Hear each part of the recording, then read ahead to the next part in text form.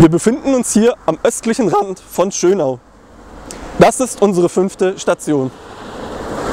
Hier sieht es trostlos und verwahrlost aus.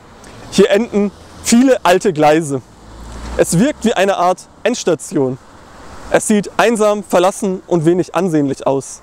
Das hier ist kein Ort, an dem man viel Zeit verbringt. Und wer steht schon gerne auf dem Abstellgleis? Wie wird sich Jesus am Kreuz gefühlt haben?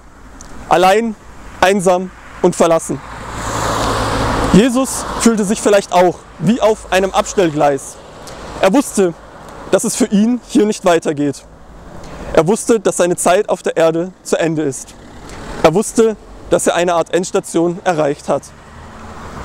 Diese Station verbinden wir mit dem Tod Jesu am Kreuz. In seinem Inneren wird es vielleicht so ausgesehen haben wie hier. Trostlos, verlassen und einsam. Jesus Tod war grausam. Er wurde ans Kreuz genagelt und sein Tod war schmerzhaft und voller Leid und Erniedrigung.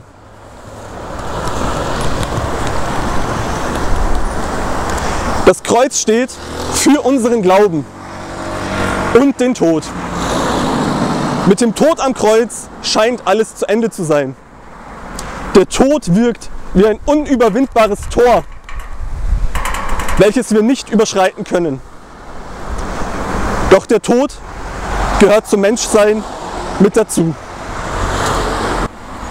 Gott schenkte uns Jesus, weil er uns liebt. Nach Jesu Tod folgt seine Auferstehung. Jesus siegt über den Tod. Durch Jesus erhalten wir das ewige Leben. Jesus sprengt das scheinbar unüberwindbare Tor des Todes. Das ewige Leben wird uns geschenkt und somit auch die Hoffnung, dass wir Gott ganz nahe sein können.